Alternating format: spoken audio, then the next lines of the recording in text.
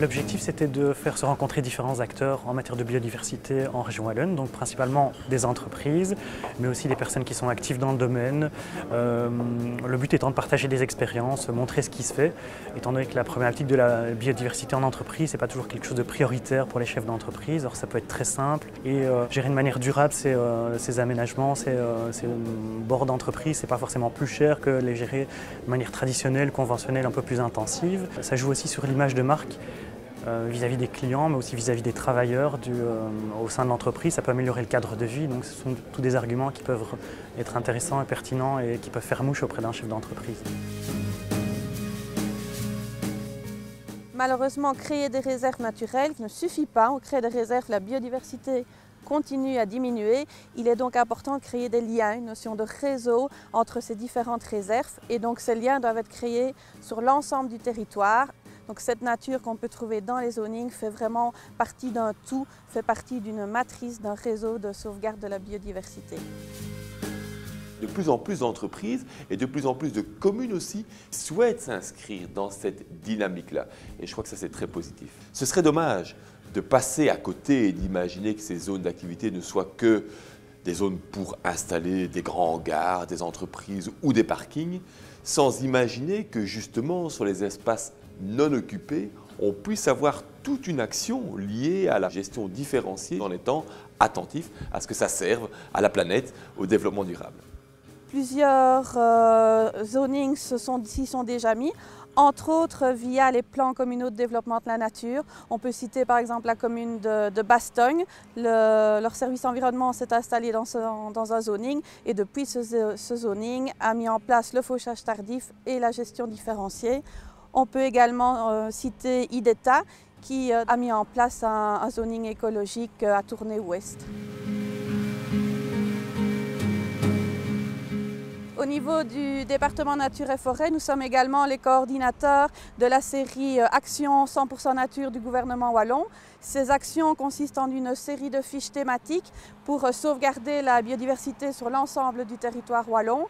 Une de ces fiches consiste à la mise en place de zoning nature et donc la gestion différenciée est un des, euh, des premières actions à mettre en place dans ces zonings nature.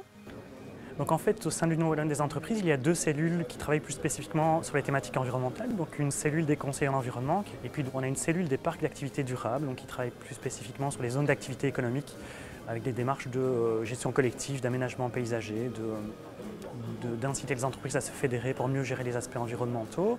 Et donc on les aide, on essaie de, les appuyer en, leur euh, faisant notamment des séances d'information ou en les aidant à communiquer aussi, bien informer le personnel, les clients, euh, tous les visiteurs euh, de l'intérêt et du pourquoi on fait cela.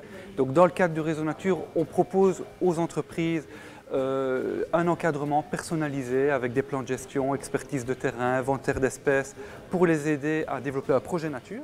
Et le second aspect, c'est vraiment développer l'aspect euh, promotion, visibilité qui va permettre aux entreprises de sensibiliser les employés et les autres entreprises du zoning. Et pour y arriver, il y a différents outils, notamment un label qui peut être décerné un an après la signature de l'achat.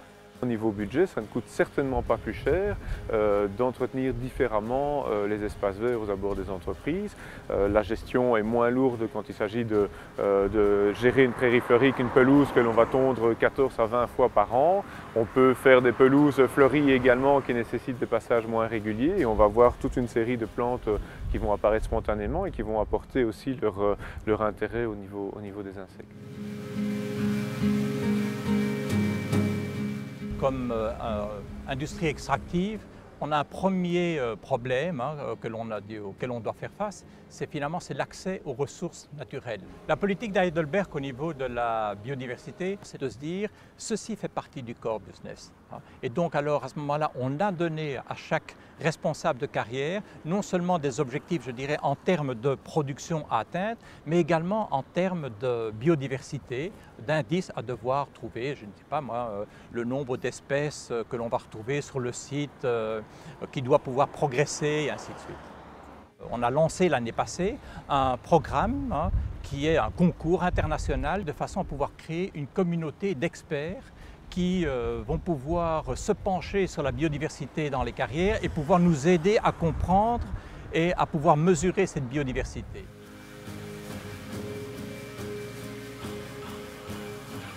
rétrospectivement, maintenant, quand on voit les différents projets qu'on a fait au niveau de la, biodiversité, donc que ce soit le projet LIFE ou euh, le projet d'aménagement à Scarbeck, on voit vraiment que si on considère euh, la biodiversité au tout début d'un projet, euh, souvent ça rapporte aussi au niveau financier et ça donne aussi une bonne image au niveau d'Elia, qui au départ n'est pas du tout une entreprise tournée vers la biodiversité, où son business n'a a priori aucun rapport avec la biodiversité.